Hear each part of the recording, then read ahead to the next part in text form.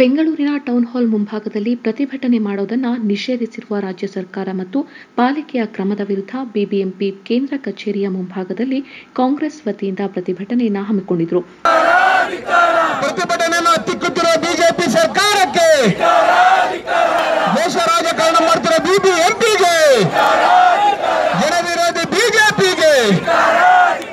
ಸಂದರ್ಭದಲ್ಲಿ ಮಾತನಾಡಿದ ಪಾಲಿಕೆ ಸದಸ್ಯ ಕೇಶವಮೂರ್ತಿ, ಸರ್ಕಾರ ಜನರ ಪ್ರತಿಭಟನೆಯ ಹಕ್ಕನ್ನ ಕಸಿದುಕೊಂಡಿದೆ.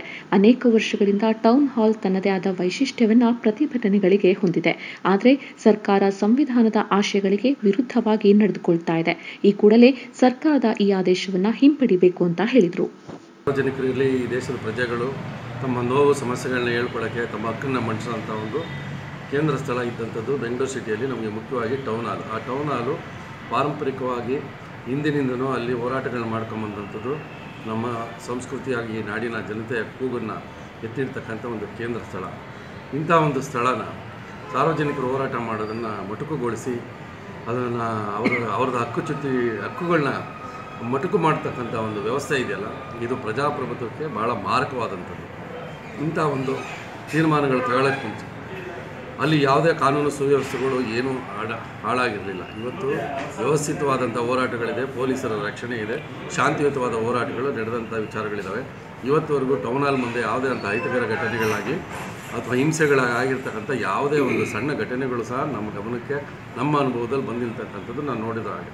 ಇಂಥ ಒಂದು ಪರಿಸ್ಥಿತಿಯಲ್ಲಿ ನಾವು ಹೋರಾಟ ಮಾಡುವಂಥದ್ದು ನಮ್ಮ ಹಕ್ಕು. ಅದನ್ನು ಈ ವ್ಯವಸ್ಥೆಯಲ್ಲಿ ಕಿತ್ತುಕೊಂಡ್ರೆ ನಾವು ನಮ್ಮ ಹಕ್ಕನ್ನು ಇನ್ನು ಮುಂದೆ ಎಲ್ಲಿ ಹೋರಾಟ ಮಾಡಬೇಕು? ಈ ದೇಶದಲ್ಲಿ ಪ್ರಜಾಪ್ರಭುತ್ವ ಇಲ್ವಾ? ಈ ರಾಜ್ಯದಲ್ಲಿ ಪ್ರಜಾಪ್ರಭುತ್ವ ಇಲ್ವಾ? ಅಥವಾ ಈ ಬಿ ಬಿ ಎಂ ಪಿ ವ್ಯಾಪ್ತಿಯಲ್ಲಿ ನಾವೆಲ್ಲ ಹೋರಾಟ ಮಾಡ್ತಕ್ಕಂಥ ಸ್ಥಳನ ಕಸಿದುಕೊಂಡ್ರೆ ನಮ್ಮ ಹಕ್ಕನ್ನು ಕಸಿದುಕೊಂಡಂಗೆ? ಮುಂದೆ ಇದು ಈ ಒಂಥರ ಏನು ಜೀತ ಪದ್ಧತಿ ಇತ್ತು? ಏನು ಈ ದುರಾಡಳಿತಗಳಿತ್ತು? ಹಿಂದೆ ರಾಜರ ಕಾಲದಲ್ಲಿ ಇರ್ಬೋದು. ಆ ಥರ ವ್ಯವಸ್ಥೆಗೆ ಮತ್ತೆ ನಾವು ಹೋಗ್ತಾ ಇದ್ದೀರ ಅನ್ನೋ ಒಂದು ಸಂಶಯ ನನ್ನನ್ನು ಕಾಡ್ತಾ ಇದೆ.